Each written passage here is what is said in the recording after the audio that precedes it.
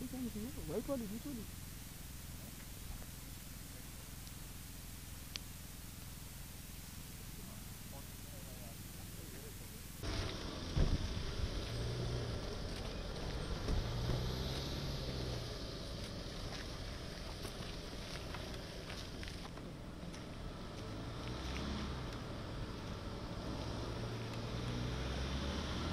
Demonstration में आज इस्तेमाल किए जाने वाले intruder R one parachute air force के बॉम्ब्स को सटीक रूप से टारगेट में पहुँचाने के लिए एक पैरा बटालियन में लेजर टारगेट डेजिग्नेटर नाम का इक्विपमेंट होता है। इस इक्विपमेंट का इस्तेमाल करते हुए कोई भी छोटी टुकड़ी किसी भी टारगेट पे जैसे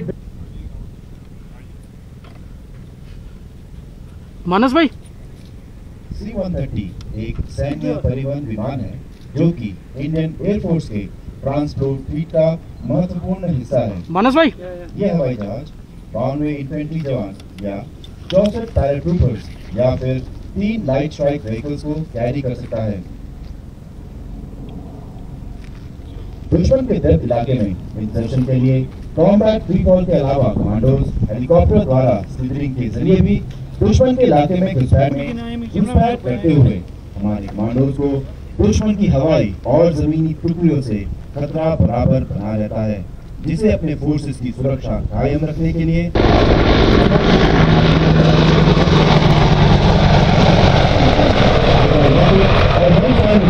की जा सकती है। रात के अंधेरे में ये जहाज़ दुश्मन पर सटीक निशाना लगा सकते हैं।